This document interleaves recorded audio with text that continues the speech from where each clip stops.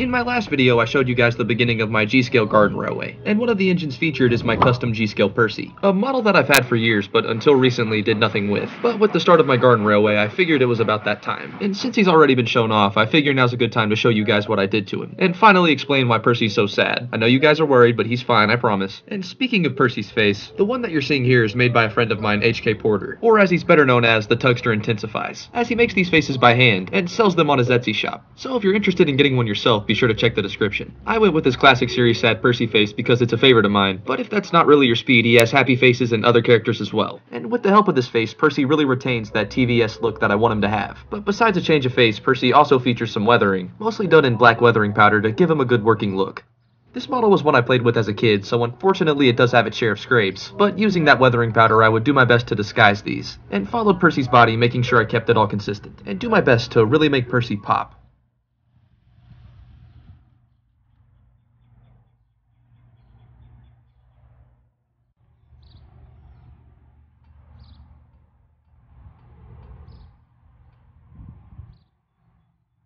Now, like I said before, this Percy model is one that I played with as a kid. And as a kid, not only would I lose his cab, but his original face as well. I didn't really like the idea of buying an entire new Percy model, so instead I would order a new cab from Bachmann's parts store, and you guys already know where I got the face from. And with those fixed, the Percy model was close to new, but like I said, still had scrapes and marks, but using that weathering powder I was able to hide these quite well. And in the end, I didn't have to buy a new Percy.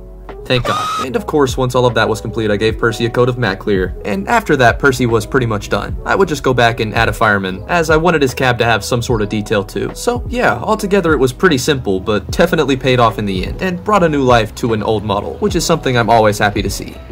Now hold on, I may have told you guys where I got the face, but not really why, besides that it's one of my favorites. And I mean, duh, that's why I bought it. This model pretty quickly became one of my favorites, as Bachmann captured the TVS look already, but with the added face and weathering just screamed classic series to me. And to go along with Percy, I would make two of my favorite pieces of rolling stock. That being the Troublesome Tankers, one based off of their white livery and another based off of their black tar livery, doing my best to again capture that TVS look. These both were done with an airbrush and Krylon spray paint, and both feature faces that were taken off of the Lionel O-Gauge troublesome trucks. They just fit the best, and as you guys can probably guess, these guys like to cause trouble for Percy and the other engines. And I just say that Percy's sad because he has to deal with these two. And honestly, wouldn't you be too?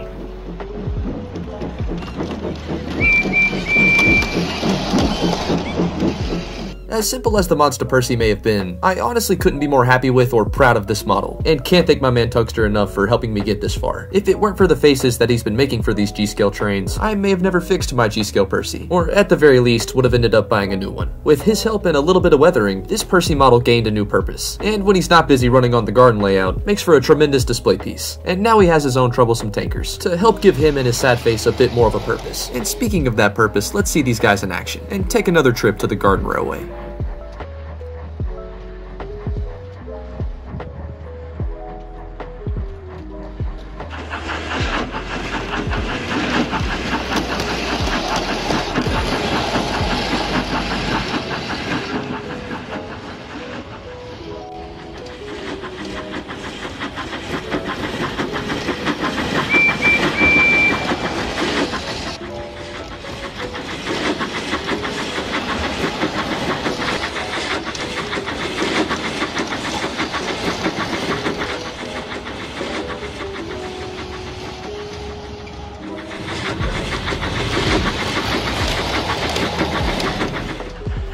And his tankers work really well for eye candy, and hopefully soon I'll be able to expand the consist that Percy has. For now though, I'm proud of this model and what I built for him, and hopefully you guys enjoyed taking a look at how I went about making my Percy, as well as the, I, I guess friends I made for him. I don't know if Percy would use that phrasing, but nonetheless it's great to see these three together. And if you guys enjoyed, be sure to like and subscribe as there's plenty more on the way. Work on the Garden Railway just started, so hopefully soon we'll be able to expand that G-Scale roster. But don't think I've forgotten about OO and HO Scale, as I have plenty more projects coming out for them as well, so if you haven't already subscribed, be sure to so you don't miss out on any future projects. I have a lot on the workbench getting ready for you guys, so hopefully I'll catch you all there as well. For now though, and as always, thank you guys again for watching, and hopefully you guys enjoyed taking a look at my custom G-Scale Percy model.